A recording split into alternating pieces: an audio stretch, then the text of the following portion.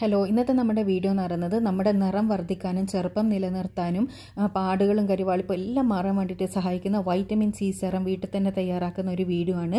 ഇത് നല്ല പവർഫുൾ സെറാണ് കേട്ടോ. അപ്പോൾ ഇത് പുറത്തുനിന്ന് വാങ്ങാൻ അത്യാവശ്യം വില ഉണ്ടാവും വീട്ടിൽ തന്നെ തയ്യാറാക്കി എടുക്കുന്നത് എങ്ങനെയാണെന്നുള്ളത് നമുക്ക് വീഡിയോ കാണാം. അപ്പോൾ അതിനായി ആദ്യം നമുക്ക് വേണ്ടത് ഓറഞ്ച് ആണ് കേട്ടോ. നിങ്ങൾക്ക് ഓറഞ്ച് എടുക്കുക അതേപോലെ തന്നെ ഓറഞ്ച് മുസമ്പിയും വേണമെങ്കിൽ എടുക്കാം. അതിനുശേഷം അതിന്റെ തൊലി മാത്രം നമ്മൾ ചെരുകിയെടുക്കണം തൊലി ചെരുകിയെടുക്കുന്ന സമയത്ത് ശ്രദ്ധിക്കേണ്ട ഒരു കാര്യം എന്താണെന്ന് വെച്ചാൽ അതിന്റെ ഉള്ളിലുള്ള ആ ഒരു വൈറ്റ് പാർട്ട് ഒരിക്കലും നമ്മൾ ഇതിലേക്ക് ആഡ് ചെയ്യാൻ പാടില്ല. കാരണം എന്താണെന്ന് വെച്ചാൽ അത് ചൊറിച്ചലുണ്ടാക്കും അപ്പോൾ വൈറ്റമിൻ സി സെറ ഉണ്ടാക്കുന്ന നേരം നമ്മൾ ആദ്യം ശ്രദ്ധിക്കേണ്ട ഒരു കാര്യം എന്തെന്നാന്ന് വെച്ചാൽ ഈ തൊലി അതിന്റെ ആ ഒരു ഓറഞ്ച് കളർ മാത്രം എടുത്ത് ചെരുകിയെടുക്കാൻ വേണ്ടിയിട്ട് ശ്രദ്ധിക്കണം. അതിന്റെ ഉള്ളിലുള്ള വൈറ്റ് കളർ എടുക്കാനേ പാടില്ല.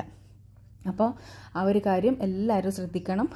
എല്ലാന്നാണെങ്കിൽ ഇത് ഉണ്ടാക്കിയതിന് ശേഷം നമ്മൾ മുഖത്തേക്ക് അപ്ലൈ ചെയ്യുന്നതിന് ചെറിയൊരു ചൊറിച്ചൽ അനുഭവപ്പെടും. അപ്പോൾ ആ ഒരു ചൊറിച്ചലിന്റെ റീസൺ എന്ന് പറയുന്നത് ഇതാണ്. അപ്പോൾ ഒരുപാട് പേര് ഇത് തയ്യാറാക്കി എടുക്കുന്ന സമയത്ത് അത് തയ്യാറാക്കിയവരുണ്ടെങ്കിൽ അവർക്കത് അറിയായിരിക്കും. നമ്മളിത് ചെറുകി ഇങ്ങനെയുള്ള ഒരു സ്ക്രാപ്പർ ഉപയോഗിച്ച് ചെറുകുമ്പോൾ നമുക്ക് ആ വൈറ്റ് പാർട്ടൊന്നും ഇല്ലാണ്ട് അതിന്റെ ആ ഒരു തൊലി മാത്രം കിട്ടുന്നതായിരിക്കും. അപ്പോൾ ഇതേപോലെ ഒന്ന് ചെയ്തെടുക്കുക കേട്ടോ.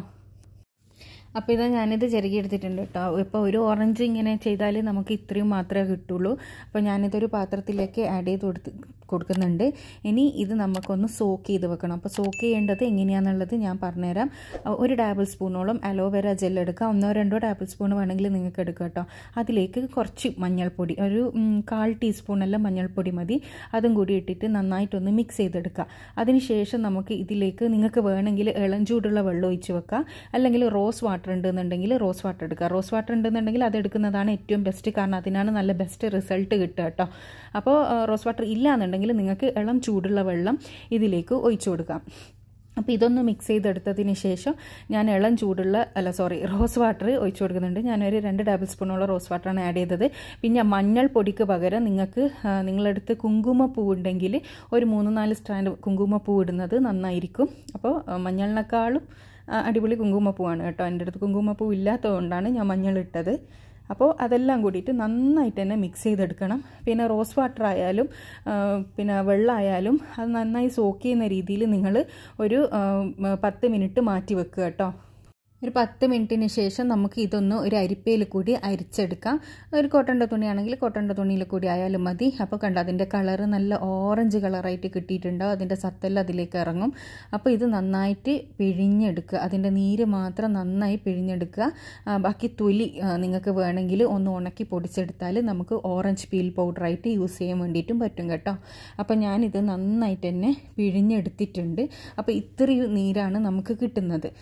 അപ്പോൾ ഇത് എന്താ പറയുക നല്ല പവർഫുള്ളായിട്ടുള്ള ഒരു സാധനമാണ് ഇനി ഇതിലേക്ക് നമ്മൾ അവസാനമായിട്ട് ആൽമണ്ട് ഓയിലും കൂടി യൂസ് ചെയ്യുന്നുണ്ട്. ഒരു ടേബിൾ സ്പൂണോളം ആൽമണ്ട് ഓയിൽ ഇട്ടിട്ട് നന്നായിട്ട് മിക്സ് ചെയ്യുക ഇനി ആൽമണ്ട് ഓയിൽ ഇല്ല എന്നുണ്ടെങ്കിൽ നിങ്ങൾക്ക് കോക്കനട്ട് ഓയിൽ വേണമെങ്കിൽ യൂസ് ചെയ്യാം. ഓരോരുത്തരുടെ സ്കിൻ ടൈപ്പിനനുസരിച്ച് യൂസ് ചെയ്യുക ആൽമണ്ട് ഓയിൽ എന്ന് പറയുമ്പോൾ ഏകദേശം എല്ലാ സ്കിൻ ടൈപ്പുകാർക്കും ഈ പിമ്പിൾസ് ഉള്ളവർക്കെല്ലാം എന്താ പറയുക പിമ്പിൾസ് വരാണ്ടിരിക്കാനെല്ലാം ആൽമണ്ട് ഓയിൽ യൂസ് ചെയ്യുന്നതാണ് നല്ലത്.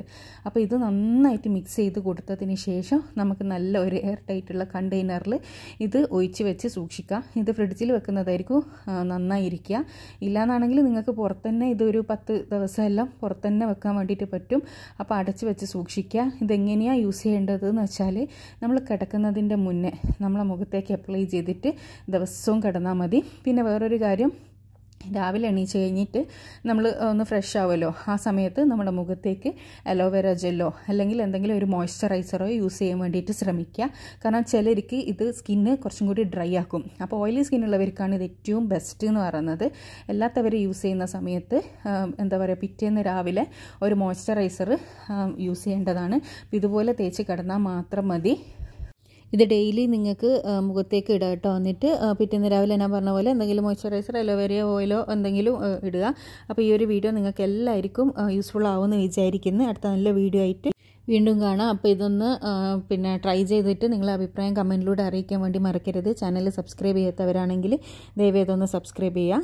അപ്പോൾ അടുത്തുള്ള ബെൽ ബട്ടൺ കൂടി ക്ലിക്ക് ചെയ്യാന്നാണ് ഫ്യൂച്ചറിൽ വരുന്ന വീഡിയോസെല്ലാം നിങ്ങൾക്ക് നോട്ടിഫിക്കേഷനായി ലഭിക്കും. താങ്ക്